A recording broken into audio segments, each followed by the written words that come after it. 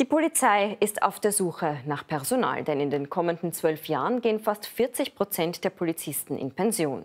Im Vorjahr haben sich mehr als 900 Frauen und Männer beworben, doch nicht jeder wird Polizist. Vier von fünf Bewerber scheitern an der Aufnahmeprüfung. Welche Kriterien erfüllt werden müssen und woran die Bewerber scheitern, Stefan Seiler hat einen Aufnahmekurs besucht. Polizei ist nicht gleich Polizei. Es gibt so viele verschiedene Bereiche, wo man dann hingehen kann, wo man sich dann spezialisieren kann. Mein Vater ist selber auch Polizist und damals halt in der Volksschule, wie immer der eine Polizistin zu uns gekommen ist, ja, wie geht man richtig über den Zebrastreifen und so, da habe ich eigentlich gewusst, ja, ich will auch zur Polizei. Polizist war für mich immer eine Respektsperson und das wollte ich eigentlich auch immer machen dann. Das hat mich dazu motiviert eigentlich.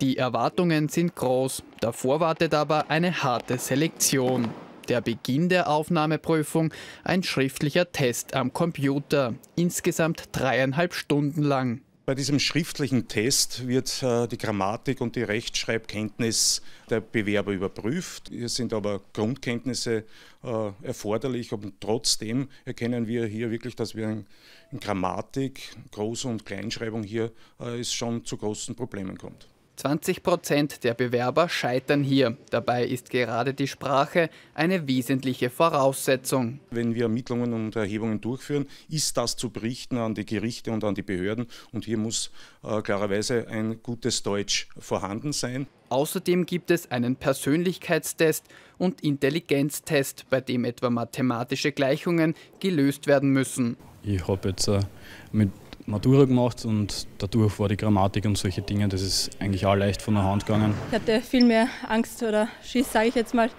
vom schriftlichen Test als jetzt vom sportlichen. Warum? Ich weiß nicht, mir tut das sportlich einfach relativ leicht. Danach folgt das psychologische Interview. Der Bewerber soll sich in einem 45-minütigen Gespräch selbst präsentieren. Der Polizeiberuf selber ist ja genauso mannigfaltig wie auch die Persönlichkeit, die wir suchen. Von daher suchen wir nicht eine bestimmte Persönlichkeit als solches und nur die, sondern genau dieses Spektrum, was wir uns erwarten, was auch in der Gesellschaft ist. Die Bewerber werden aber nicht nur geistig, sondern auch körperlich gefordert. Zuerst bei einem medizinischen Check vom Arzt. Und wer es soweit geschafft hat, auf den wartet der sportliche Teil. 100 Meter Schwimmen, 3000 Meter Laufen, ein Hindernisparcours und eine 70 Kilo schwere Person 10 Meter weit ziehen. Alles auf Zeit.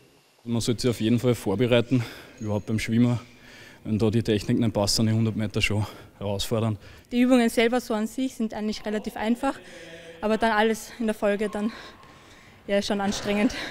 Also ich bin äh, jeden zweiten Tag laufen gegangen, schwimmen, im Parcours am auch durchgegangen und Liegestütze ist bei mir kein Problem. Am Ende bleibt nur einer oder eine von fünf Kandidaten über. Für die erfolgreichsten Bewerber wartet jetzt die Polizeischule, bevor sie sich danach im Polizeidienst ganz nach ihren Erwartungen verwirklichen können.